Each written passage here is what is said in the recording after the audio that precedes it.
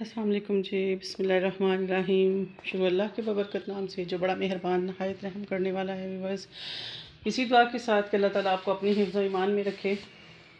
अपने ब्लॉग का आगाज़ करते हैं। जनाब बेडरूम को मैंने समेट लिया बच्चों के जाने के बाद और गैलरी से मैंने निकाले हैं जी कपड़े, क्योंकि मैंने नहीं निकाले हुए थे। अब फोक ज़्यादा हो गई है तो वो कपड़े निकाले हैं उनको आज मैं बाहर निकाल के। सर्दियों के कपड़े बाहर निकालूँगी और गर्मियों में इसमें बंद करूँगी, क्योंकि अब काफ़ी सर्दी हो गई है। और जनाब, काम मेरा सारा कंप्लीट हो गया हुआ है। मैक्सिमम सारा काम मैंने कर लिया है। अब मैं सिर्फ़ और सिर्फ़, मेरा ख्याल है कि थोड़ा सा बाहर वाली साइड का रह गया डस्टिंग मेरी कंप्लीट हो गई हुई है। थोड़ा सा भी काम करूँ, दो दिन के बाद आज मैंने काम किया है। ये ये जो चीज़ें हैं, ये काफ़ी टाइम लेती हैं साफ़ करने में, होने में, करने में नहीं। तो डेली डेली अगर इनको ब्रश लगता रहे ना तो नीट रहती हैं। और जब यहाँ बैठ के नमाज़ पढ़ते हैं तो पहली नज़र इन पर ही पड़ती है कि ये जनाब डस्ट में आ गई है, इनमें तो इन्हें साफ़ कर लें। डस्टिंग के साथ साथ आपसे करते हैं जी बातें। आज दो दो दिन के बाद या शायद तीन दिन के बाद मैंने ब्लॉग स्टार्ट किया क्योंकि तबीयत बहुत ख़राब हो गई थी। फिर बेटा शेख जैद लेके चला गया मेडिसन वगैरह लेने के बाद। अल्हम्दुलिल्लाह अब ठीक है। तो मैंने कहा, चलें जी, आज अपने बहन भाइयों से भी मिल लेते हैं यूट्यूब फैमिली से बातें कर लेते हैं थोड़ी सी। क्योंकि आपके सपोर्ट के बगैर तो हम कुछ भी नहीं हैं।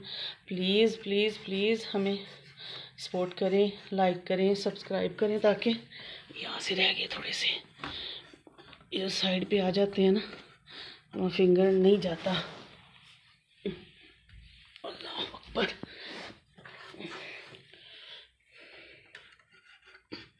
इनकी करके सारी डस्टिंग मेरी हो गई है, सिर्फ़ सोफ़ों का मसला रह जाता है इधर ड्राइंग रूम में ना। इधर डस्ट बड़ी आती है, जाली वाला दरवाज़ा है, सामने। तो थोड़ा सा भी ओपन होता है ना, गाड़ियाँ गुजरती हैं तो वो जनाब सारी मट्टी शटी आ जाती है। जी, जनाब फाइनली हमारी डस्टिंग हो गई। अब हम दूसरे रूम में, ये मेरा सारा कंप्लीट हो गया हुआ है। यहाँ पे कुछ नहीं करने वाला, इधर से भी। और ये जनाब अभी पड़ा हुआ है। ये हादी साहब ने सुबह अपना यूनिफॉर्म किया है। आयरन खुद से ही। मैंने नहीं किया, मेरी तबीयत नहीं सही थी। आप भी कहेंगे बार बार तबीयत का थी ये मैंने। अम्मी की शर्ट निकली और ये मैंने सूट निकाला उनके लिए। पड़ा हुआ था तो मैंने कहा इसको ना स्टिच करवा देती हूँ ये। ये माशाल्लाह। ये देखें अच्छा है।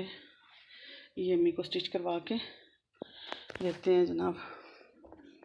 और ये है जी किचन। किचन में काम कोई नहीं आ जा सच ऐसा ये थोड़ा सा काम है दो तीन बर्तन है बस।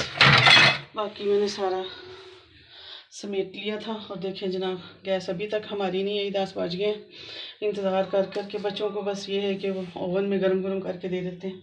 और ये जनाब चीज़ें मैक्रोनी कल बनाई बच्चों ने। और ये ये मेरे जार पड़े हुए हैं, इनकी मैंने जगह चेंज करनी है, इनको कहीं ना और शिफ्ट कर देना है। और थोड़ी सी ना इसकी किचन की जो सेटिंग है, वो करते हैं जी चेंज में भी आज करें, ये भी थोड़ा थोड़ा ख़राब हो रहा है। बेटे से कह के तो इसका भी थोड़ा सा काम करते हैं, ताकि ये साफ़ लगे। बर्तन तो समेट लिए थे, बस ये थोड़े से जो बच्चों को चाय बना के दिए वो ये किचन भी मेरा नीट बिल्कुल, ये देखें नीचे से। और ये मैं कर रही थी पैर वाली साइड। अब यहाँ से थोड़ी सी रहती है। होता है जल्दी जल्दी। एक हाथ से जब पकड़ के काम करे, समझ भी नहीं आता। बैठ के मैंने एक दफ़ा लगाया अच्छी तरह, फ्रिज के नीचे।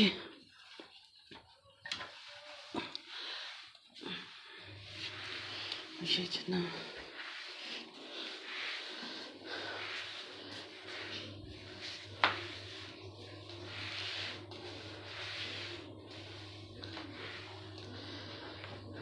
आज अच्छी तरह शादी हो जाएगी ना। दो दिन हुए नहीं, बच्चों ने आदि मेरे ने झाड़ू लगाया था। बच्चे को, बच्चे का तो बच्चे का ही ना, वो क्या कर सकते हैं? उनको तो बस इतना है ना कि जो रैपर वगैरह पड़े हों वो उठा लें।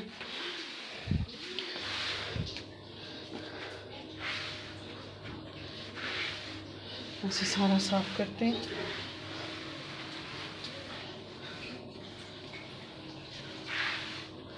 ये मेरा मनी प्लांट देखे, माशाल्लाह। कितना प्यारा लग रहा है। इसको मैंने जो उसने दिखाया था, मैंने शायद आपको एक दफ़ा इसकी केयर की तो माशाल्लाह बड़ा प्यारा हो गया ये। अब जनाब हम इनको धो के वॉशरूम मैंने वॉश कर लिया था, फिर बाल्टियाँ रह गई मेरी टैब देखिए, ख़राब हो गई है। इसको भी अब साफ़ करवाना है, वो सही करवाना है। प्लम्बर ही नहीं अभी मिल रहा वो बेचारा।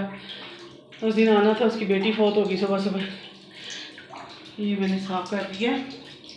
अलहमदिल्ला और जनाब किचन का थोड़ा समय के लिए दरवाज़ा करते हैं जी। बंद के मच्छर वच्छर ना आ जाए। बसमीम जी, आज रात जो टिंडे बनाए थे वही पड़े हुए हैं। यही मेरा ख्याल आज दोपहर में हो जाएगा। मैंने अभी कुछ नहीं बनाना। अगर बनाया तो फिर देखेंगे, गैस आएगी तो। जी बस। तो माशाल्लाह आज मैंने सर्दियों के कपड़े बच्चों के निकाल के के कैरी कर दिए हैं। मैंने साफ़ कर दी, मैंने अहमद की, हादी की भी हो गई। ये जनाब कपड़े निकाले हैं जो मैंने गर्मियों के, अभी सारा ये भी पैक करके तो कर्टन में रखते हैं। और ये कपड़े वेस्टिंग हैं मतलब छोटे हो गए हैं हाई साहब को। तो ये अब देखते हैं। भाई आएँगे ना तो उनसे पूछूँगी कोई है यहाँ पे तो फिर उसे हम दे देंगे, क्योंकि हादी को तो अब ये बिल्कुल भी पूरे नहीं आएँगे। माशाल्लाह वैसे बड़े बड़े छोटे हो गए हैं, इतना यूज़ भी नहीं किया हुए तो जनाब, इनको समेटने के बाद आपसे मिल जी वीवर्स हाँ जी जनाब तो हम पहुँच गए जी कमरे में, कपड़े लेके। जो उधर से निकाले थे सारे उनको कैरी करके। ये बॉक्स में थोड़े से पहले रखे हुए ये देखें हादी के। तो प्रेस नहीं करूँगी, बस ऐसे ही मैं उनको रख दूँगी बंद करके। जी जनाब ये हमने रख दिए हैं इसमें। अभी जो बाकी जी जनाब ये रख दिए तो इसे पैक करेंगे। अभी जो कपड़े बाकी रह गए हैं, वो भी रख के तो इसको गैलरी में बेटा आता है तो फिर उसे कहते हैं इसको गैलरी में पहुँचा दे जनाब। तो फिर देखते हैं जी क्या करना है आगे।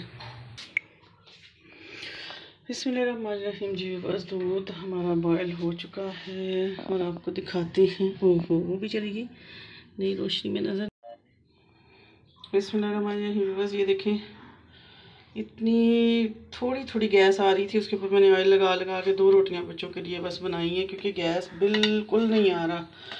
तो अभी मैं इनको कवर करती हूँ हॉटपॉट में रखती हूँ, और ये देखें, बिल्कुल बंद। सन, कुछ भी नहीं, गैस बिल्कुल देखें, है ही नहीं। इसको करते हैं जी बंद। दूध, शुक्र है, अल्लाह का कि दूध बॉयल हो गया। चलो, ये तो हो गया ना। तो इन अब करते हैं जी आगे कुछ। जब तक गैस आएगी मेरा ख्याल कोई चीज़ें सब्ज़ी वगैरह ला के तो काट लेते हैं, आएगी फिर जल्दी जल्दी काट।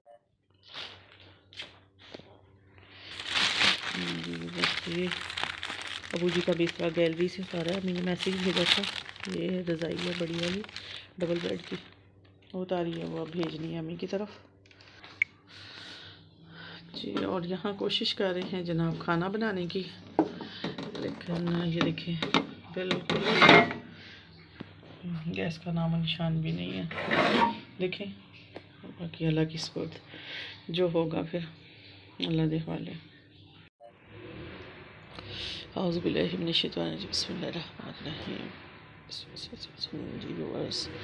तो माशाल्लाह मगरब की अजानें हो गई हैं, नमाज़ पढ़ ली हमने। और जनाब आज का ब्लॉग यहीं पे ख़त्म करते हैं, क्योंकि खाना शाना जो है, गैस है नहीं। तो देखते हैं क्या करना है। तो नमाज़ पढ़ने के बाद देखी चेक की है कुछ भी नहीं है तो मैं तस्वीर आ रही थी, मैंने कहा चलो मैं बैठ जाती हूँ। आपसे बात कर लेंगे, लेकिन फिर देखा कि व्लॉग ज़्यादा लंबा हो जाता है मेरा। तो लोग देखते भी नहीं हैं तो मैं छोटा सा कोशिश करती हूँ कि छोटा छोटा करके इसको बनाऊँ। तो नमाज़ पढ़ ली है मैंने अपने इस आज के दिन को यहीं पे ख़त्म करूँगी।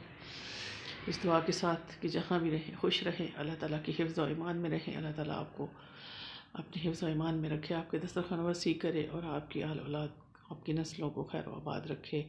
इसी दुआ के साथ हमें भी दुआ में याद रखिएगा। अल्लाह ताला आपके दस्तरखान वसी करे। और जनाब प्लीज़ अगर मेरा व्लॉग पसंद आए तो प्लीज़ प्लीज़ प्लीज़ इसको सब्सक्राइब करें लाइक करें और कमेंट्स भी लिख दिया करें ताकि मैं अच्छा करने की कोशिश करूँ। कोशिश तो कर रही हूँ तो इन शाला बेहतर से बेहतर ही होगा। अल्लाह हाफिज़ जी, फ़ी अमान अल्लाह। अल्लाह निगेबान